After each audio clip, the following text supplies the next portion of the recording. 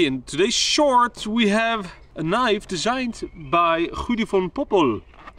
This is the Eastwood Tiger in S90V Big Boy and smooth action as ever. This is made by Fox Knives, so this is a collaboration with him.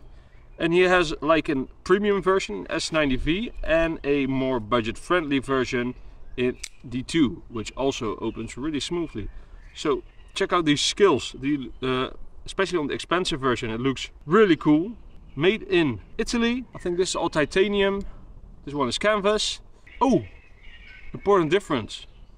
The expensive version is a frame lock and the inexpensive version is a liner lock. That means that the expensive version is also a little bit more well built for hard use. So those are my first impressions of the Eastwood Tiger. Designed by Gudy van Poppel. Available at Tools for Gents. Thank you very much.